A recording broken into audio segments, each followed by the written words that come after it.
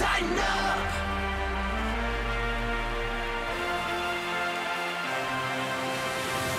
This is the OTP presented by Farm Bureau Health Plans. Plan on Farm Bureau Health Plans, making it easy to get the health coverage you need for less than you think. Visit FBHP.com. I'm Mike Keith, joined by Amy Wells, and fresh off the Tour de France, Paul Burmeister, Mike? NBC Sports. Yes. How are you? I'm doing great. I'm so excited to be here. Well, maybe we should explain why Paul's here coming off the Tour de France. You know, I actually prefer if we don't. yeah, because and just make it sound like we have these international amazing guests. Well, it's true. Amy said, Mike, we've got to get a guest on to talk Tour de France on the OTP. That's the And one thing we've this. been Not missing. a hundred percent accurate. Pleased to announce to the OT people that Paul Burmeister next month will be calling Titans preseason games on the Titans television network at Chicago, at Minnesota, home against New England, with his and our longtime friend Charles Davis. And Corey Curtis will be on the sidelines from WKRN. Uh, we we are thrilled you're going to do this. I'm thrilled to be doing it. I think in the uh, in the contest of who is most thrilled here for the three of us, it is me. Good. But thank you for saying that. Good. Well, I mean, people know you from NFL Network. They know you from NBC and the Olympics and the many things you've done for NBC.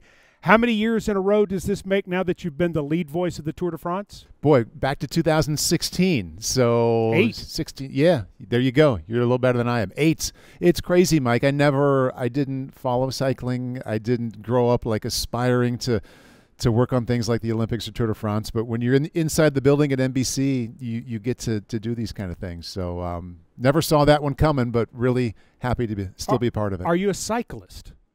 You know what? This is going to uh, hurt some of my street cred, Oh, the good. people who watch the tour, but no, I'm not. Now, I have a bike. Uh, my wife and I and sons will get out and ride around, but anybody who is an actual cyclist, for me to put to be in that group would be an insult. so, how do you prepare for a broadcast like that when it's it's not something that you're super familiar with? Right. Yeah. Being at NBC has been so good that way because 10 years at NFL Network, I, I played football for as long as I could. So it's very comfortable for me to talk about football, to look at football, and then broadcast about it. But going from NFL Network to NBC, inside that building, we, we have every Olympic sport. We have a lot of soccer. We have the Tour de France. So I didn't know how much of the others I was going to be doing, but to do something like cycling at that level, uh, it was something that scared me a lot. I was all at once when my boss asked me to do it. This is awesome. I'm really scared because I don't know that much about it. So I kind of had to go down that road of talking to people who make it their living to to think about cycling, to read everything I could, to listen to people say the names and talk about it, and that's how I kind of got started to to being comfortable to go on on live TV talking about a sport that I didn't grow up with. In the Olympics, where have you focused the majority of your attention since you've been at NBC? Yeah, so I have done water polo uh, two different times in the in the summer games and ski jumping in the winter. And just like with cycling, these aren't sports that I grew up with. I was just presented with the challenge in the form of a, basically an instruction. You will be doing these sports, and I've kind of I don't. I'm not comfortable enough saying I've become good at it, but I've become comfortable with getting an assignment of a sport that I didn't grow up thinking about playing or watching. And I kind of have a little formula that I follow to get to the point, like I said a moment ago, where the red light can go on and I can have the words come out of my mouth and I can trust that it's going to be at the very least okay. How much study do you have to do for those sports when you don't have that basic knowledge like you would of football or basketball or baseball? Yeah, all kinds of it. And I don't know the exact number, Mike, but if, if I can just back up a little bit. So, when you and I are calling football, something that we've been doing for a long, long time, any action that happens on the field, you know exactly what it is. You know what a first down is. You know what the hash mark is. You know what the uprights are. These are things we've been thinking about our entire life. And then I get to water polo, and every single rule, uh, the the landmarks inside the pool, the rules, the history are things that have not been on my mind. So I really just I read everything I can.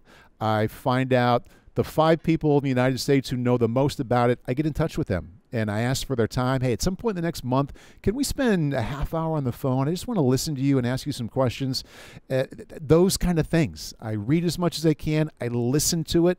I actually practice the words coming out of my mouth. My wife and my sons are used to me doing this. It used to be weird, but now I'm just up in my office saying names, um, you know, saying things that happen in the pool or in ski jumping. So the first time that they actually come out of my mouth, it's not on live TV. I, have said it a hundred different times at home by myself. So it's a nerdy, different kind of prep uh, than I would have for football or basketball.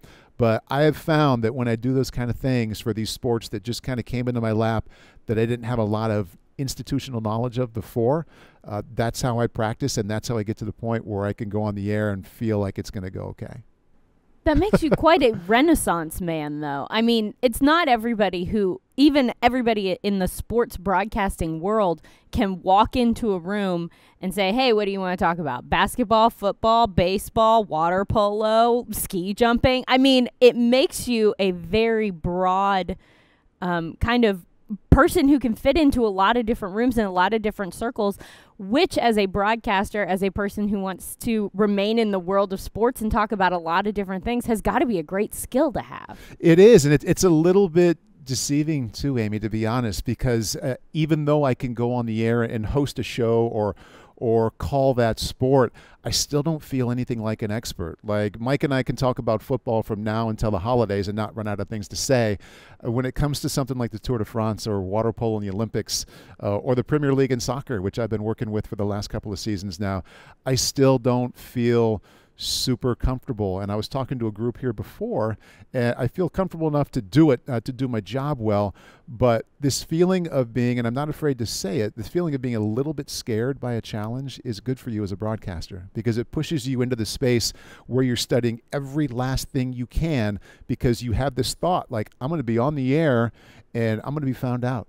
I am going to be exposed for not knowing as much as I should about this sport. So I have made it, if I've made it at all, uh, I've made it because there's some fear in there that I know if I don't over prepare for all of these sports every single day, that I don't, I don't get to come back and do it again the next day. So um, it's nice that you think that we could have a really nice chat about cycling or international sports, and maybe we could, uh, but I mostly have taught myself uh, to get to the point where I feel prepared in something that whether it was a month before or a year before that I was in no way prepared to do. I would think the Premier League mm.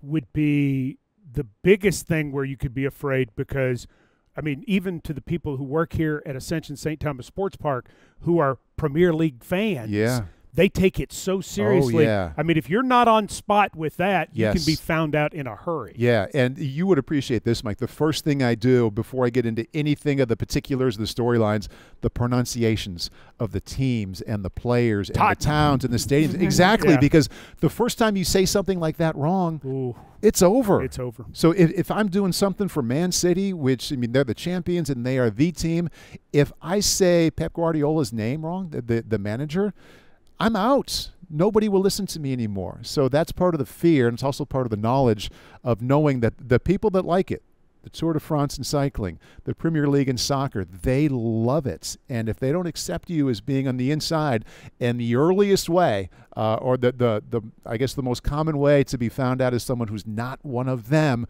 you don't deserve to be talking about it on TV, is to have the pronunciations and the names and the cities wrong. So I always, I always start in that spot.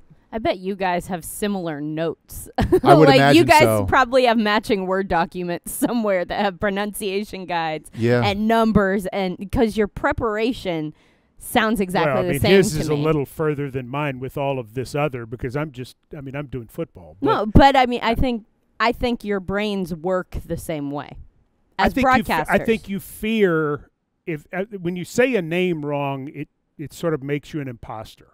Yeah. Right? Unless you've heard it pronounced a certain way, you know, like Nick Like we- Nick Westbrook Westbrook Ikhine. Ikhine. We we were told it was pronounced Nick Westbrook Ikhine, and then during one of the COVID years, he changed it Yeah. because he met his father's family, Okay. and they said, "Hey, you're saying it wrong." mm. So he just casually mentioned to someone that it was Nick Westbrook Ikhine, and I felt I was devastated because I worked so hard Right. on Ikhine, and Yeah. Mhm. and and then it's like Nick, could you not have called me and told me? You'd, Yeah. Yeah. not his job, obviously, but yeah, I mean it's a it's a big deal because you want to be as accurate as you can for the fan base too, right? Right? Yeah, exactly. And that those are the basics. And I think um, one of the reasons I've enjoyed this so much, Mike, and one of the reasons probably why you have been good at it for a long time as well. I'm always thinking about ways to be better at it. Like, I Mhm. mean, you and I have had conversations this entire day, and I'm I'm taking mental notes. Like, I haven't just asked you about the Titans. I've asked you about your work and who you like out there. I mean, you are you're a pro's pro, and if Oh, if there's somebody out there that you think is really good, I'm going to go listen to him to see what I can pick up. So um, I think the the lifelong curiosity has uh, has helped a lot.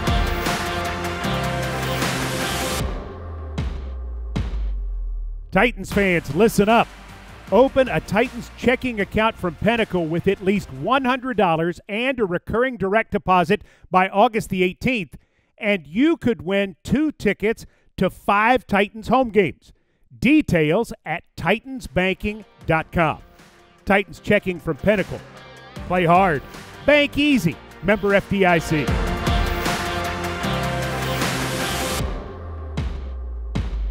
All right, speaking of pressure, we're visiting with Paul Burmeister, who has like 47 jobs. One of them this August is going to be calling Titans preseason games with Charles Davis on television. We're so excited about him joining us, but he is the voice of Notre Dame football. Yes. There's some pressure in that, Paul. Yeah, some really fun pressure. Okay. Probably the same kind of pressure you feel, but yeah, I mean, I'm very aware that Notre Dame football has the the kind of cachet and the history where there's a lot of people listening. And I find that to be a really fun kind of pressure uh, because I know it matters. There's a lot of people out there who have designed their day. They can't be at the stadium, and you probably feel the same way. They can't be in South Bend or wherever we're playing on that weekend. But for those three hours, they are going to listen and they're counting on me to let them know what's going on. And I, I do feel that as pressure and responsibility, but it comes out internally for me as fun. It's a fun prep during the week. It's a fun thing to feel in the booth that I don't want to let anybody down. There might be someone who's the biggest Notre Dame fan in the world. They're driving their daughter to soccer and they've got 15 minutes Right. to catch up on the game. I don't want to screw that up. I mean, that's an important 15 minutes of that person's day because of how much they love that program. Uh, so it's a fun kind of pressure to me to think about how many people uh, want to have the right picture painted of what's going on. What was it like the day you got the call that you were going to be the voice of Notre Dame football? It's funny we were just talking about the Tour de France because it happened it happened late in the summer and I was on like stage 18 and they were going to interview me and I was in the Pyrenees and I'm like my first thought how am I going to have reception to people back in the states where we are literally out here in the in the middle of nowhere in the mountains and I found a spot like in between our set and a cliff and I was talking to them and I could just tell that it was going very well and shortly after that I got the call and it was a similar kind of feeling Mike because as well as I know football and I've been broadcasting football on TV for a while I'd never done a game on the radio I had never done a single game on the radio. So I knew that I had to get up to speed on the nuance and the particulars. And I called some people that I knew went back and forth between radio and TV Mike Tirico, Ian Eagle, Kenny Albert, um, Pretty Kevin good Harlan. Rolodex. there. Yeah, it's not th- bad. those guys were so amazingly helpful. I mean, I just I hope at some point I can be that helpful to somebody where I, I know some I know so much about something where I can help someone feel like they went from here to here with just a conversation. Those guys could not have been better. I have notes that I look at before every single game from those guys as they told me about here's what you have to keep in mind when you go from TV to radio. And it was just just gold in terms of helpful information. Do you like that you have the ability to do both, to do the TV and the radio? I know we talk about it a lot, how it uses such different muscles in your brain. Yeah. Yes, I enjoy it a lot. And radio, and again, as Mike knows very well, you're talking so much. And I grew up in TV where, and it's also kind of a personal thing. I don't like to be the one talking the most. I want my analyst to be the star. I want the game to be the star. And I'm and I'm confident to talk on TV. But if I'm talking more than the other people on TV, I'm doing something wrong. Whereas on radio, you have to be the one talking the most. So the amount of energy and the amount of words that come out is much different than when I'm calling something on TV. I've come to like it, but it took a long time to get okay with it because I knew I was talking way more than I was used to. But uh, again, going back to what the guys told me, Mike Tirico told me, he's like, listen, when you're on TV, it's the producer, it's the analyst, it's the game, and then it's you. On the radio, it is you, you, and you and the analyst can come in a little bit kind of toward the end. And it's not a selfish thing; it's just a reality part of it. So it took some some getting used to. Yeah. When I got into the business years and years ago, the feeling was the number one radio job in the country was Notre Dame. Mm. Even more so than the Yankees, even more so than the Dodgers or the Celtics. And, and I mean, I, I know times change, but it's still, I mean, that is an incredible opportunity understanding their history and their nationwide base, which Yeah. at one time they were the only nationwide Sure. school because there wasn't as much television. That's changed some, but still fantastic. So I'm interested to know you and your wife have two sons who are Mhm. teenagers.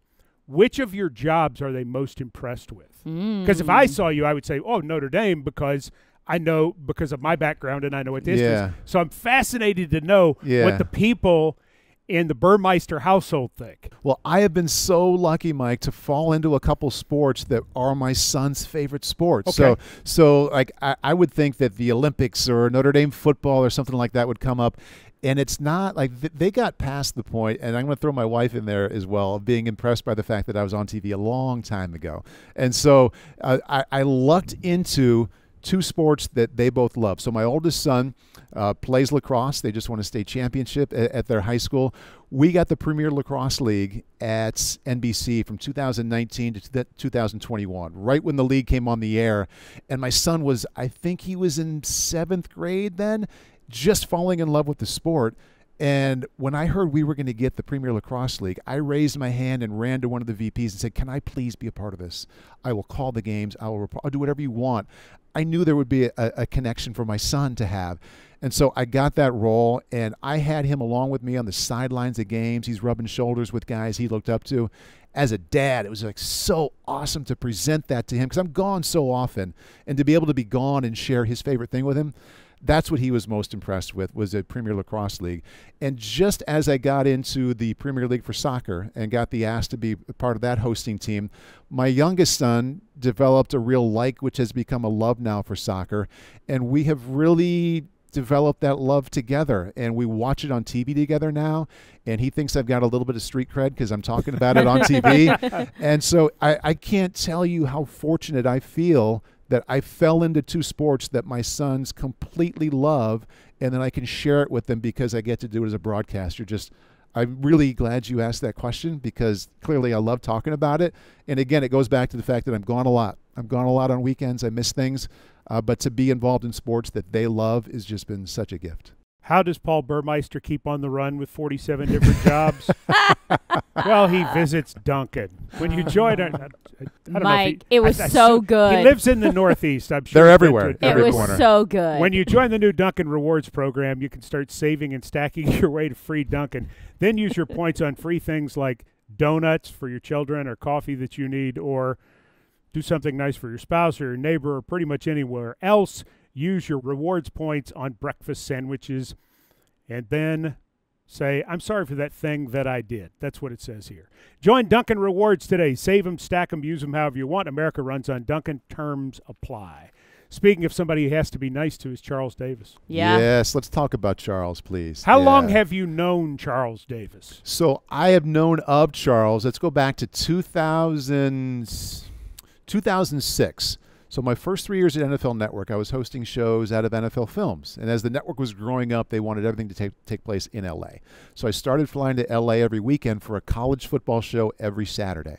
And my executive producer that summer said, "Hey, we just signed somebody in the college football world that is great. You're going to love him. Uh, super nice guy, really good." Charles Davis. And I I have to admit, CD, don't be mad. I'm like, I, I didn't I didn't know Charles in 2006. And so then the first time I threw to Charles, he was calling a game at Washington State. I was in the studio, I teed him up, and he made a reference to a Bill Murray line in Stripes like that. And I'm like, huh, I might, I might kind of like this guy. if we're going to be making, Do you remember stripes, which Bill Murray li- line? he it was uh, it was from Sergeant Hulka who was talking The to Bill toe? Murray. He's like something about blown up, sir. And I'm like, how did how did he get from my team Where- up to him? Where is your sergeant? There you go, blown up, sir. Well Yes, done. Yes, you. we can hang out with you as well. Yes. Oh my god. And that started a, a pretty good relationship. And he and I worked together really closely during the draft, senior bowls, the combines for years. And uh, he's somebody that I liked right away personally and somebody I developed a really strong respect for. And I, I said this to you, Mike, earlier. Charles being on the number two team at CBS, he's not supposed to be there. He belongs there and he ought to be there for the long term. But there wasn't an industry industry job waiting for Charles Davis after being a decent player at Tennessee and getting released in training camp from the from the Cowboys. The things he has done and the amount of work he has done to get to that point is so commendable and easy to respect. Uh, his wife uh, sent out uh, some notes to his close friends to celebrate Charles's. I think it was his 25th uh, 25th anniversary in the industry, and she said, "Just write whatever you want to Charles." And I thought a long time about it because there's so many funny things I could say to him. We, we've had so many laughs together and so many shows together. And I really spent some time thinking about it because when, when Charles comes up, people talk about how kind he is. And it is 100% damn true. He is as nice as a person could be. And of course, it helps him not only stay at a place, but, but ascend because he treats people that, that way. But I, I wrote to him, I said, Charles, this is not about you being nice as why you are up here. It's because you are really damn good. You're nice, yes, and that's great. That's why we're buddies. But you have ascended to where you are because you are incredibly good at what you do. And Charles works. Uh, I'm going on and on about Charles, but like okay. I, I mentioned the word scared. Like sometimes I'm you, being a little bit scared can push you into being overprepared. Charles knows how this business works. He knows there are people around waiting to take all of our jobs if and when we don't do it the right way, and he prepares. We don't talk about that, but I know that's in his head. He prepares in a way where he knows how this works, and he needs to do it this well, not most of the time, but every single time. So easy guy to like as a buddy, uh, maybe even more easy to respect as a professional. Having someone like that that you work with so often and have such a good relationship with has to help you also when you're preparing for something new like this role with the Mhm. Tennessee Titans. How much will you be able to work with him and kind of because he's been doing Sure. this for a while? Charles has been around the Titans organization in different capacities for a long time. How much will you lean on him to help you prepare and kind of get ready for your first preseason with the Titans? a lot and all the time. And I've been around enough to where I'm used to getting ready for something when I don't have a sage and a mm-hmm. buddy like Charles on the inside to help me. But when I do, I, I'm going to take advantage of that. So from being inside the building here today to to interacting with Coach Vrabel and the players, I will make a call to Charles every single time because uh, I would like to be like him. I would like for people to describe me this way, but I know that he knows all the particulars and the nuance of how people think and what's important to them as they're trying to uh, decide if they're going to respect somebody as a pro or not. So I, I will lean on him a lot. Um, I, I wish I had him as a partner in, every little thing I do. Yeah. But this is one of the reasons you wanted to do Titans preseason was to sort of get back together with him and work in this way. Hundred percent. And Charles and I got to work together all the time for all those years at NFL Network, and we have joked in all the years since, "Hey, someday we're going to work together again." I didn't really know that we would actually get to, uh, and when it seemed like there could potentially be an opportunity here, uh, any the the 31 other jobs as the preseason play-by-play person are terrific jobs too. Sure.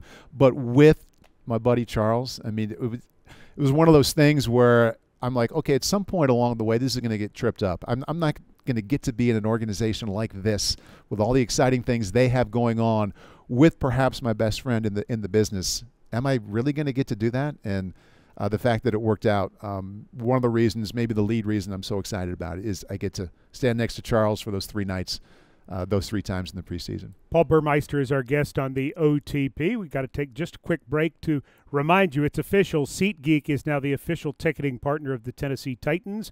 That's right, the deal is finalized, and SeatGeek is the newest member of the Titans family. If you haven't heard the name yet, get used to it because you'll be hearing it a lot more this season. Whether you're buying or selling tickets to Titans games or any other live event in Nashville, SeatGeek is the place to do it. SeatGeek, the new official ticketing partner of the Tennessee Titans, so Titans fans can fan. May not know this, Paul Burmeister played against Mike Vrabel in college. I did not know this. Buckeyes, Hawkeyes. Ooh. The, the way back when, and uh, every single Ohio State team was so loaded with with players. I mean, you could you could go the D line to the linebackers to the DBs, and uh, yeah, known of Mike for for a long long time. Yeah. That's So incredible. you were a senior quarterback at Iowa Yes. when he was a freshman defensive end at Ohio State. Do you have any recollection of him from that one game? I don't. So Mike may have been. It might have been his very first year. Okay. So I remember Big Daddy Wilkinson playing nose guard and like Steve Tovar playing linebacker. Steve linebacker. Tovar, yeah. And there was an outside linebacker that got picked by the Browns in the first round. Uh, maybe Powell was there? Okay. Uh, I'll believe you. I don't Sure, remember. I don't remember if Mike was out there or not, or if he was in his very first year. I'm, I'm not sure, uh, but I I knew of Mike at Ohio State for sure. Yeah. Certainly a remarkable career. And it's been a remarkable career for him already with the Titans as the head coach. His ascent is something we don't spend a lot of time talking about because he's now been here six years. But this guy didn't even start coaching football till 2011. Right. It's Yeah. crazy. That is not very long ago. No. no, And- no, it isn't. And he's a veteran head coach He's too. a veteran head coach. like he's well, a he's new one head of the coach. longer tenured head coaches in the league now. That is that is just crazy, and uh, just from watching one practice, and it's so much fun to go to practice. You can put your eyes on so many different things and learn. Uh, but watching Mike Vrabel, and I made a point to, to watch Mike in the time that I spent out there, and I wrote down practice starts. He's got his hands on his knees. He's five feet from the wide receivers. He is spending time with the wide receivers, not a walk by glance. Okay, those guys look okay. He was in it with them at the start of practice with the group he didn't grow up with. So then uh, he's with the defensive lineman later on in practice, working on hand technique. He's in like they were in, in a huddle in between things, and I see him in there like actually, not like full force demonstrating, but showing them some things, talking about things with them. He's watching the quarterbacks for the next 20 minutes, all three of them as close as he can. In sprints, here's what I really liked. He's watching everybody run sprints. He's right there in the middle of them. You know every single player, whether it's a rookie or a vet, they know the head coach is standing right there at the finish line. And he called out three names of players, and it, it, it wasn't Tannehill. Okay, it wasn't guys who were well known. It was fifth string guys. He knew their first names and if they were running hard or not. So, like my first impression, I know of Mike from the outside looking in, but from the first time watching a practice, uh, the range of the way he spends his time and, and his his talent and energy, and the the way he knows each one of the players, not of them a little bit, but knows their names. It may sound basic. I promise you, there are head coaches, quite a few of them at camps. They couldn't tell you the first names of all the players there. And the fact that he was calling out names of guys who were not household names, I made mental note of that. As uh, I don't know how that would come up in a preseason broadcast, but it can come up on my mind as something that impressed me. Well, it's. Uh, I, I mean, it just gives you a bigger picture, not only of Mike Vrabel as a coach and as a teacher of men, which is kind of more what he sees himself as, but also of the Tennessee Titans and how this team has gotten to the point that they are within. Uh, I mean, coming off of all of these winning seasons and even when things don't necessarily go the way the culture remains the same Mm-hmm. and Mike Vrabel is such a huge part of that. He the is the way that he spends Yeah. his time and the things that he does and the way that he engages with his players, he's created that that when things are really good and things aren't going the way that anybody wants them to, there's a steadiness there Yeah. that this team hasn't always had. It's such a key word, steadiness, because players of any sport, especially professionals, want to know that the coach is going to be some version of the same dude Mhm. all the time. The ones who have the wide range, that they have a hard time maintaining the players for a long time. And I go back to where he learned with uh, Bill Belichick. And the last couple of seasons, I've called USFL games for NBC. And there are a lot of guys, most of the guys have been in NFL camps. And I always like to, when I talk to them, ask them about, hey, you've been in six camps. Which one made the biggest impression on you? And there was a cornerback for New Jersey last year, and his story or his response to that question, he's like, you know what? I've actually been in seven buildings. So you were one off. And he said, there was one head coach, because he would be in these buildings for like three or four weeks at a time. He said, one head coach knew my name. and talked to me by using my name every time, it was Bill Belichick in New England. Mm-hmm. And so the fact that Mike can do that with all of his players, you know, maybe it's who he is anyway, but I, I think he grew up seeing that example. We always heard the stories that the only guy on those great Patriots teams who was basically allowed to give Belichick the business Mm. was Vrabel. Yeah. Mm-hmm. That he did a Belichick impersonation and that he would do things in practice and he would say things at times and that Belichick would actually laugh at it. It makes sense when you see Belichick, and it certainly makes sense when you see Vrabel now as a coach. Yes. The the reason that they would bond because Pat Kirwan, who we enjoy talking with, Yeah. I I love Pat Kirwan on Sirius XM NFL Radio, moving the chains, and Amy and I get a chance to visit with him at the combine, and I see him at the Senior Bowl. He claims that Mike Vrabel was Bill Belichick's favorite interview ever at the combine. Really? Did, did you get any intel on, on what exactly went down in that interview? Uh, sort of, but I, I think it was because because Pat was in the room, and he just said they just totally connected, and that he knew when Mike became a free agent, leaving the Pittsburgh Steelers, that Belichick was going to sign him, just because he was his kind of guy. Yeah. You know, in Pittsburgh, the story was he couldn't get around some really outstanding edge guys to get on the field, and that he was told, Bill Cowher told him, said, if you're going to be a starter, you're probably going to have to go somewhere else. And he did, and the rest is history. And now he's in the Patriots Hall of Fame, which is incredibly exciting. Um, but you just kind of get the sense that they got each other. And when the teams have practiced against one another, and which they will do again next Yeah. month, you can see it. Yeah.